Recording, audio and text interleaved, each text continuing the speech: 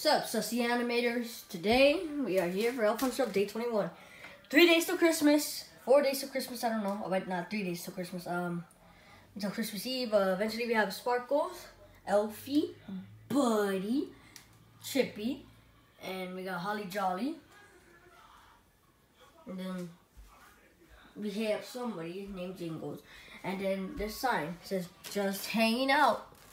So, and the, the Chippy, he got lucky that I don't have pizza mousse. Because usually I use the mitten to, to, you know, do that. So these elves been crazy, obviously.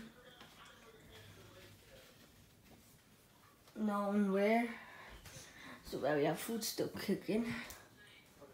Takes it quite a while for it to actually cook. But like, we're just here in the kitchen enjoying my time.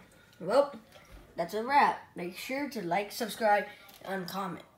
Alright, see you guys later. Bye-bye.